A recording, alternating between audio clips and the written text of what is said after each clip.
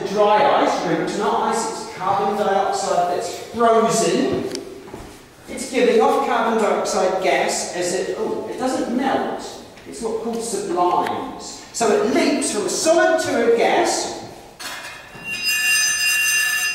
and it bounces as it does so.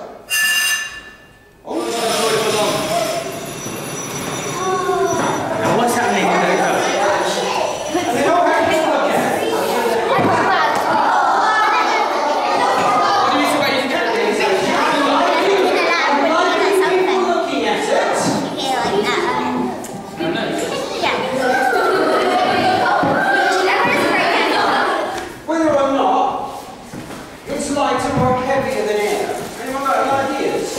We fill a balloon with carbon dioxide. How do we then find out whether that's heavier than air or not?